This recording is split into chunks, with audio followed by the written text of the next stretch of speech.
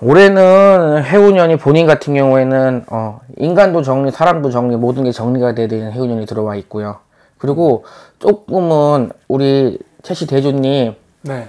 좀 멍청해. 아 멍청해요. 어, 둔해. 그러니까 사람만 좋으면 다 좋은 줄 알았어. 응, 사람만 좀 내가 좋으면 다 좋은 줄 알고 내가 좀 사람한테는 조금 많이 좀 많이 당하는 격이고 그리고 지금 지금 어 어떻게 봤을 때는 내가 조금 지금 뭐 산이 안 사네 어 지금 그런 말이 있다고 하더라도 그게 지금 올 연말 내년 초 정도 돼야지 뭐가 정리가 될 것 같긴 한데 지금 좀 내가 봤을 때는 대주님이 우울증이 와 있어. 어 그래요? 음, 그러니까 혼자서만의 자기만 생각도 되게 많고, 그러니까 결혼을 뭐 어떻게 간다 안 간다를 떠나서 산다 안 산다를 떠나서 내 마음 쪽으로 지금 내가 많이 되게 힘들고 내가 많이 좀 치우쳐 있어.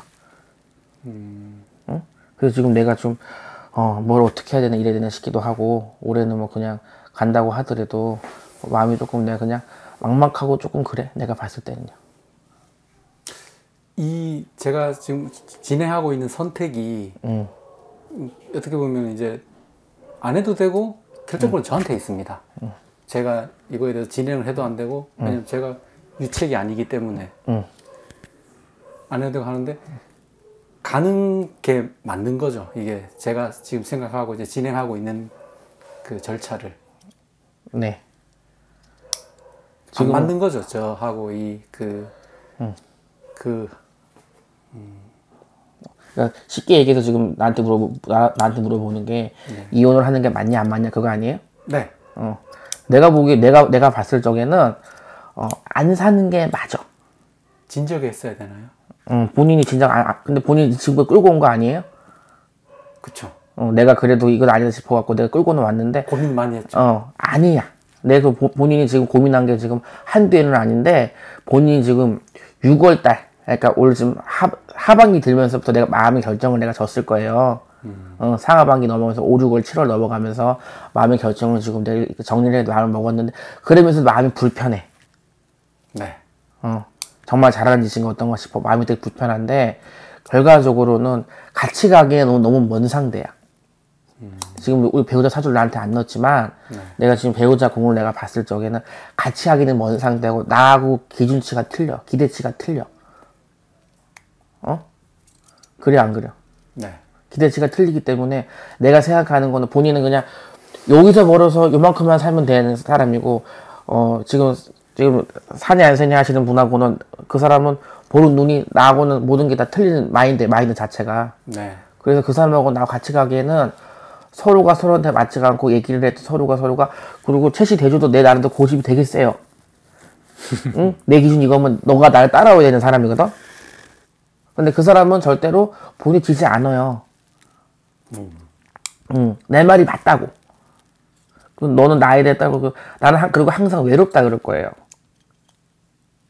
본인이 응, 저도 외로운데. 응. 근데 항상 외롭다 그럴 거라고.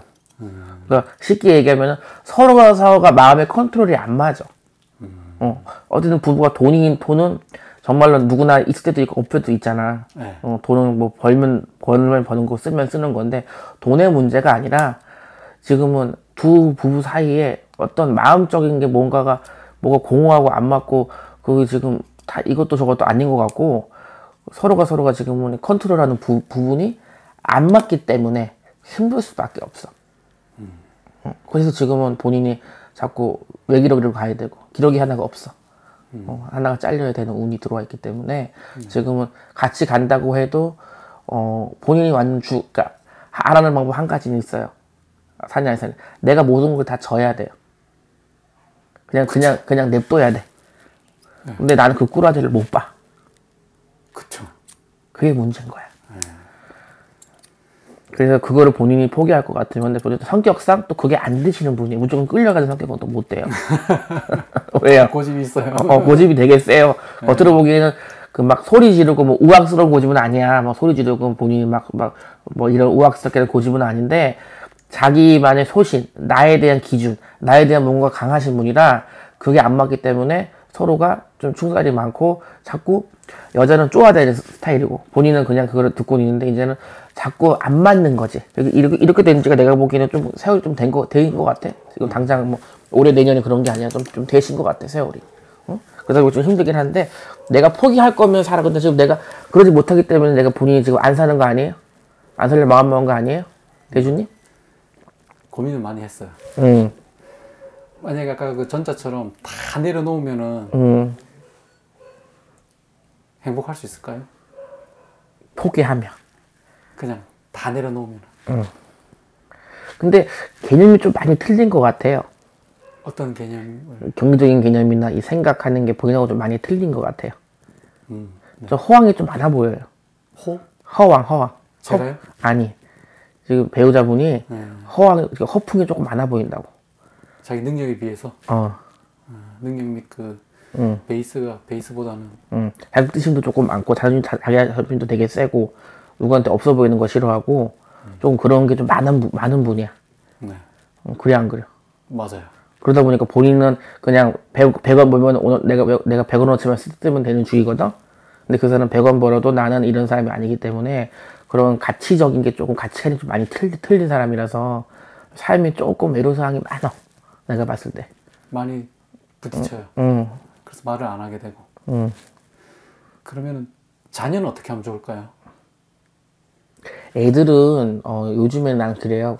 누구한테 맞다 안 맞다를 떠나서 애들 편할 대로 해야 돼. 애들이 뭐 엄마한테 엄마한테 가겠다. 아빠한테 아빠한테 가겠다 해야지. 그거를 뭐 무조건 옛날처럼 보다 아빠가 데- 가부장처럼 아빠가 데려온다 이런 주의가 아니고 그냥 애들이 하겠다. 뭐 정 엄마가 애들을 뭐 안 키워야겠다. 뭐 아- 아버지가 데려와야 되겠지만 그거 아니면 그냥 뭐 애들 하자는 대로 둬야죠. 네. 그러면은 이건 더 나가서 질문인데 음, 절차대로 이혼을 진행하고 나서 음.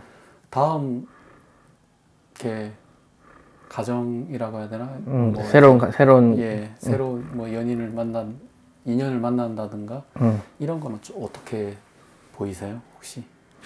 2년은 다 할 것 같, 2년은 다 할 것 같은데, 어, 원래는 내년도 2년 줄이 있어요. 올해보다는 내년에 그러니까 새 인연이 내년에도 2년 줄이 있어요. 그러니까 누구를 만나고 이런 2년 줄이 있긴 한데, 예.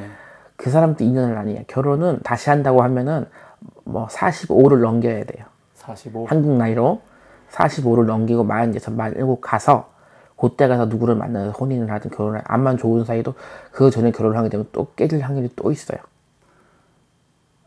국제 결혼에 대해서도 혹시 구체적으로 나오나 이게 제가 지금 판단하는 거는 응. 그냥 이제 나이도 이제 40 그때 되면 40대 중반 넘어가고 하기 때문에 업체 통해 가지고 응. 이렇게만 국내보다는 그래도 동남아라든지 안 그러면 그건 본인 마음이지. 그쪽하고 연이 혹시 그쪽으로는 혹시 아니면 제가 해외로 나가서 산다든가 그쪽으로 왜냐하면 지금 직업하고도 약간 연관이 되게 직업은 이제 한 2년 더 하면 이제 끝이 나거든요. 네. 또 새로운 직업을 구해야 되는데 그 시기에 맞춰서 해외로 나가는 건 혹시 외국으로 나가도 상관없어. 그거는 나쁘진 않아요. 어. 근데, 근데 결혼은 어, 46 넘어서 해야지 내가 누구랑 살아서 살아. 요즘에 외국 사람이 다 착하지 않아요. 아유, 아유. 어. 더 심해 더 심한 나라 있어 저기 이뭐 이렇게 뭐 유튜브 같은 거 보면은 더 또라이 더 또라이 더 많기 때문에 예, 그냥 그것도 내 팔자야. 그런 여자 만나서 잘 사는 사람이 있는 반면에 그런 여자 만나서 못 사는 사람이 근데 근데 최씨 대주님은 지금 당장이 아니라 4, 5년 후를 바라봐야 돼요. 4, 5년 후 어, 그러니까 46, 7 정도, 지금 42이잖아. 예. 여섯 일곱 정도 봐. 그때 누구를 만나도 누구를 만나고 누구랑 살아도 누구랑 살고 그래야 돼. 지금은 아니야. 그러면 혹시 지금 뭐 내년이나 이때 결혼 상대는 아니지만 그래도 연은 들어와. 근데 그거는 그냥 지금 내가 아까 별- 얘기했듯이 그냥 애인 정도, 연애 정도에 대한 사- 사람만 만나. 근데 그 이상 하기에는 조금 같이 가기에는 조금 먼 상대.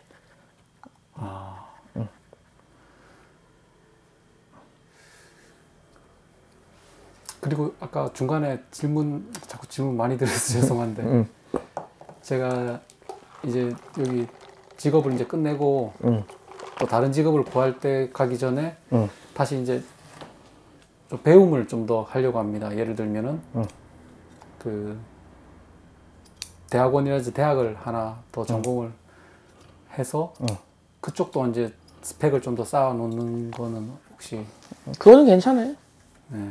어, 공부를 더 하시는 건 나쁘진 않아. 일단 지금은 요거 정리 잘 하시는 게 제일 중요해요. 네. 하고 뭐 자격증 공부도 준비하고 요즘은 여- 여러모로 약간 마음이 싱숭생숭하고 내가 그랬잖아 아까 우울증이 왔다고. 어, 본인 우울증이 온 거야 지금. 그냥 괜찮은 노력을 많이 하는 우울증이 와서 그냥 뭐 잘 만나보나 싶기도 하고. 근데 내가 보기에는 가치관이 너무 많이 틀려서 살기에는 결국은 계속 이 상황이 벌어질 수밖에 없어요. 네. 부부가 너무 안 맞아도 못 살거든. 네. 그러니까 가치관이 틀리기 때문에 그런 서로 조금 맞춰서 가야 되는데 그거는 조금 힘드니까 서로가 좀 정리 부부는 정리를 조금 하고 또 새 인연 바라보고 또 새롭게 가시는 게 훨씬 더, 더 낫지 않나라는 거죠.